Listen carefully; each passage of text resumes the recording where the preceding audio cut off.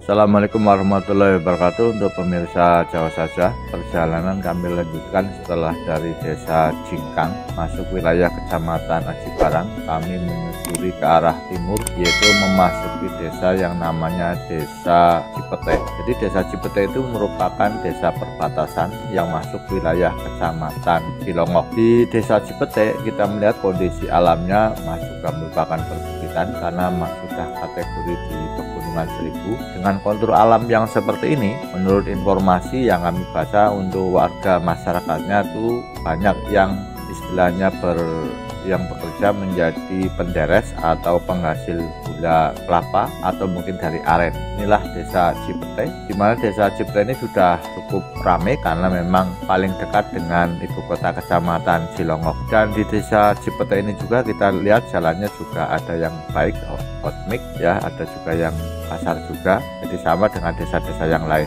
dan di desa Cipete ini juga ada salah satu makam yang sangat dihormati di area tersebut yaitu makam Syekh Abdul Somad siapakah Syekh Abdul Somad itu? Syekh Abdul Somad itu salah satu pendakwah atau penyebar agama Islam di daerah tersebut yang dengan menggunakan tradisi atau adat kebudayaan sehingga masyarakatnya menjadi masyarakat yang agamis yang seperti sekarang ini. Dan menurut ceritanya jadi untuk Syekh atau Kiai Abdul Somad itu juga salah satu besan dari pendiri Kabupaten Banyumas yaitu Adipati Joko Kaiman dan makamnya letaknya di jalan desa di desa Cipete ini. Dan setiap bulan Sakban banyak pengunjung untuk bersiarah di makam tersebut. Bagi teman-teman yang mungkin touring di lewat jalur ini silahkan untuk bisa mampir di area makam tersebut untuk bisa bersiarah. Inilah desa Cipete di salah satu wilayah kecamatan Cilongok yang kami lewati.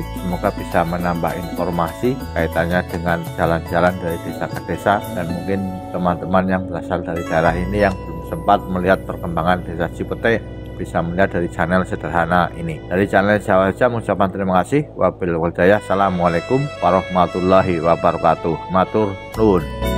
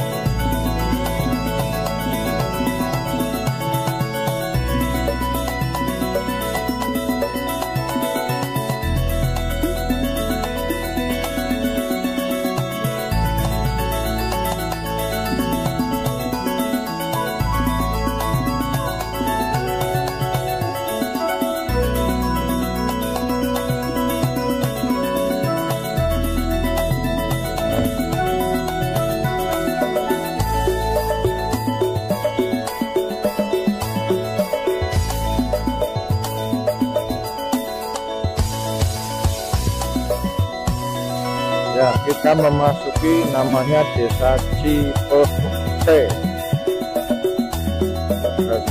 Cipete.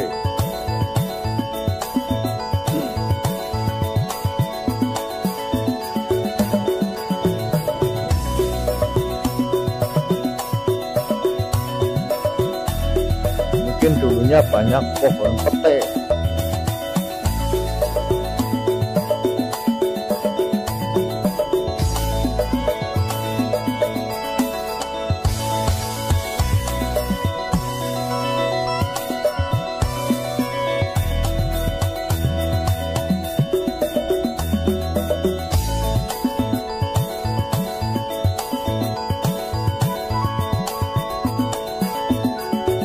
pete kita sudah barangkali ini memasuki desa Cipete. Desa Cipete kita sudah masuk di kecamatan Cilongok ya depan